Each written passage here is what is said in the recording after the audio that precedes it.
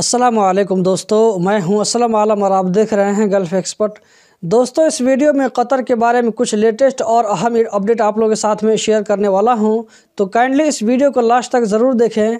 ताकि आप कतर के बारे में हमेशा अपडेटेड रह सकें। कल वाली वीडियो में मैंने बताया था कि कतर में केफाला कैसे चेंज कर सकते हैं। इसके लिए क्या क्या डॉक्यूमेंट चाहिए, इसका फ़ीस को कौन पे करेगा, इसके बारे में कतर का रूल क्या है, ये सारी चीज़ मैं कल वाली वीडियो में डिटेल से बता चुका हूँ। अगर आपने नहीं देखा है तो कल वाली वीडियो के मतलब ज़रूर देख लें। तो हम चलते हैं आज के असल टॉपिक की जानब। तो यहाँ पर जो सबसे पहला अपडेट है, वो है कतर एनर्जी की तरफ़ से। फरवरी के महीना में पेट्रोल में प्रीमियम के रेट में पाँच दिरहम को ऐड किया गया है, जिसके बाद इसका नया रेट दो रियाल पाँच दिरहम पर लीटर हो गया है, जबकि सुपर और डीजल का रेट पुराने हिसाब से ही है। आज का दूसरा अपडेट, अभी कतर में कितने लोग मौजूद हैं, इसके बारे में भी अपडेट दिया गया है। तो जनवरी 2022 के लास्ट तक कतर में टोटल लोगों की तादाद सत्ताईस लाख इक्यानवे हज़ार नौ सौ पच्चीस है। जिसमें से बीस लाख ग्यारह हज़ार पाँच सौ तीस मेल हैं, जबकि सात लाख अस्सी हज़ार तीन सौ पंचानवे फीमेल हैं।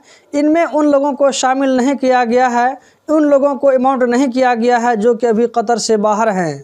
एक फरवरी से कतर में वो रूल लागू हो गया है, जिसमें कहा गया था कि कतर में जिन लोगों को वैक्सीन का दूसरा डोज लगाए हुए नौ महीना गुजर जाएँगे, अगर उसने इस नौ महीना के बीच में वैक्सीन का बूस्टर डोज नहीं लगवाया तो ऐसे लोगों को अनवैक्सीनेटेड माना जाएगा और ऐसे लोगों के मोबाइल के एतराज़ से गोल्डन कलर का जो फ्रेम है, वो भी ख़त्म हो जाएगा।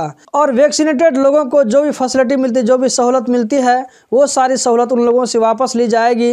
इन लोगों को हर हफ़्ते कोरोना का रेपिड एंटीजन टेस्ट करवाना होगा काम करने के लिए।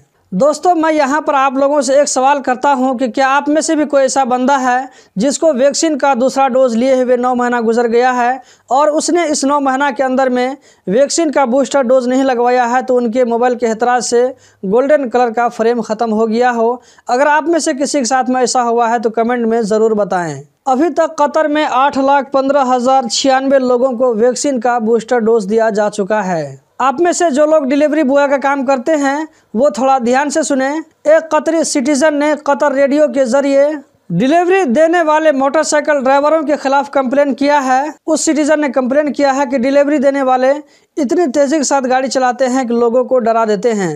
उल्टा साइड भी गाड़ी चलाने से नहीं डरते हैं। यहाँ तक कि उसी स्पीड के साथ में घर के सहन में घुस जाते हैं। कंप्लेन करने वाले ने मैजर में सारे उमदूम और अत्याचारी के बारे में कहा है। उस कतरी सिटीजन ने जो रेडियो कतर के ज़रिए कंप्लेन किया है, रेडियो कतर एक ऐसा प्लेटफार्म है जिसके ज़रिए सिटीजन की आवाज़ आगे तक जाती है और ऐसे डिलीवरी बॉय के खिलाफ कार्रवाई भी हो सकती है। दोहा बलदिया ने एक फ़ूड कंपनी को 60 दिन तक के लिए वायलेशन करने की वजह से उसकी एक्टिविटी को बंद कर दिया है। उस कंपनी के पास में खाने पीने के ऐसे सामान थे जो कि खराब हो चुके थे या ये के यूज़ के काबिल नहीं थे। इसी तरह बलदिया वालों ने वाइट प्लेस को भी सात दिन तक के लिए बंद रखने का ऐलान किया है। इसके पास भी सेम प्रॉब्लम था। कतर में एक फरवरी को 330 लोगों के खिलाफ कानूनी कार्रवाई की गई है। इन लोगों ने कतर में कोरोना से बचाव के लिए जो रूल लागू है, इस रूल को वायलेट किया था, जिनमें से 300 लोगों ने मास्क नहीं पहन रखा था। ऐसी जगहों पर जहाँ पर मास्क लगाना ज़रूरी होता है। नेपाल गवर्नमेंट ने कतर गवर्नमेंट को थैंक्स बोला है। इस बात पर कि नेपाल गवर्नमेंट ने जो इमदादी सामान अफ़गानिस्तान के लिए भेजा था, कतर ने अफ़गानिस्तान तक उस सामान को पहुँचाने के लिए जो प्रोसेस होता है, उस प्रोसेस में नेपाल का हेल्प किया। दोस्तों, कतर में कोरोना का केस दिन ब दिन बहुत तेज़ी के साथ घटता जा रहा है, जो कि बड़ी अच्छी खबर है। मिनिस्ट्री ऑफ़ पब्लिक हेल्थ के मुताबिक एक फरवरी को कतर में पिछले 24 घंटों में 1236 कोरोना के नए केस रिकॉर्ड हुए। नौ सौ इकहत्तर लोकल लोगों में, जबकि दो सौ पैंसठ बाहर से आने वालों में। इसी तरह पिछले 24 घंटों में तीन हज़ार तेईस लोग इस वायरस से रिकवर होकर अपने घरों को गए।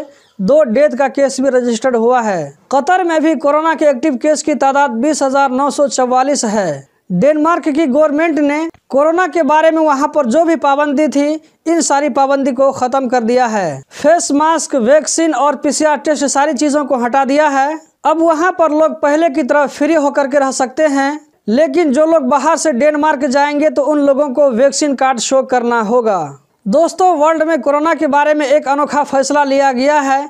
इसीलिए मैंने इस न्यूज़ को आप लोगों के साथ में शेयर कर दिया। तो दोस्तों, यही थी आज की वीडियो। उम्मीद करता हूँ ज़रूर पसंद आई होगी। दोहा कतर के बारे में रोज़ाना इसी तरह की वीडियो देखते रहने के लिए चैनल को सब्सक्राइब करें। इस वीडियो को लाइक करें। वीडियो देखने का बहुत बहुत शुक्रिया।